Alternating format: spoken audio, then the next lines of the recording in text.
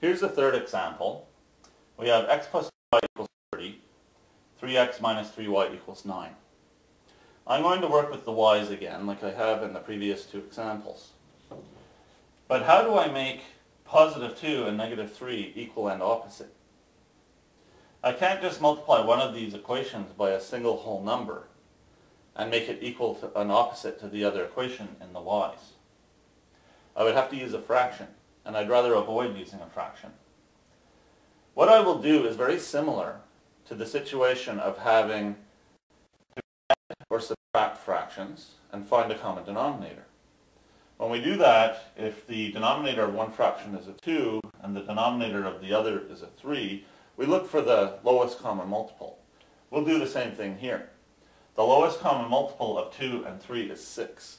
So what we'll do is we will try to turn these equations into two equivalent equations that have plus 6y and minus 6y. The way to turn plus 2 into 6 is to multiply it by 3.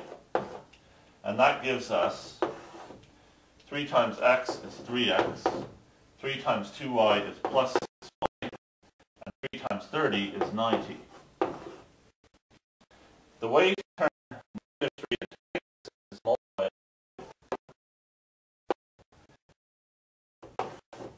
That gives us 3 times 2 is 6x, negative 3 times 2 is negative 6y, and 9 times 2 is 18. Now,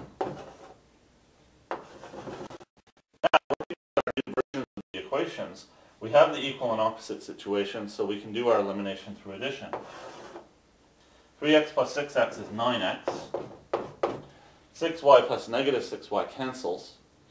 And 90 plus 18 is 108. If we divide both sides by 9, these cancel, and x is equal to 108 divided by 9, which is 12. Now, to find our y, we'll plug x equals 12 into either of the original equations. I'm going to use equation 1.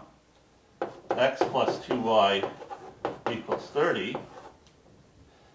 If x equals 12, 12 plus 2y equals 30. 2y equals 30 minus 12. 2y equals 18. If we divide both sides by 2, our y is isolated, and it's equal to 9. So the answer to the system of equations, the solution, the point where these two lines would cross if we were to graph them, is going to be 12, 9. When we're doing elimination through addition, even if we have to multiply both equations by two different numbers, we can create this equal and opposite situation, and we can continue on with our method. In all three of my examples so far, I have been making the y's equal and opposite and eliminating the y's. But will I get the same answer if I try to make the x's equal and opposite instead? Let's do the previous example over again, but this time we'll work with the x's. We have x plus 2y equals 30, and 3x minus 3y equals 9. In order to make x equal and opposite, the easiest thing I can think of to do is to multiply the top equation by negative 3. That will result in negative 3x right here.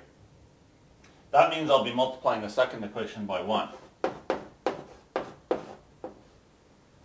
If I multiply the top equation by negative 3, I get negative 3x minus 6y equals negative 90. The second equation stays the same. 3x minus 3y equals 9. Now, when I do my elimination through addition, with these two equations, 3x plus negative 3x cancels. Negative 6y plus negative 3y is negative 9y. And negative 90 plus 9 is negative 81. If I isolate this y by dividing both sides by negative 9, these cancel. My y is isolated, and negative 81 divided by negative 9 is positive 9. Now we're going to plug y equals positive 9 into one of the original equations and see what we get for our x. I'll use equation 1. x plus 2y equals 30. If y is 9, x plus 2 times 9 equals 30. x plus 18 equals 30. x equals 30 minus 18. x is therefore equal to 12. The point of intersection of this system of equations is going to be 12, 9, which is the same answer that we got when we did the same example eliminating the y's. So now we know it doesn't matter whether you eliminate the x's or eliminate the y's when you do elimination. Either way you should get the same answer.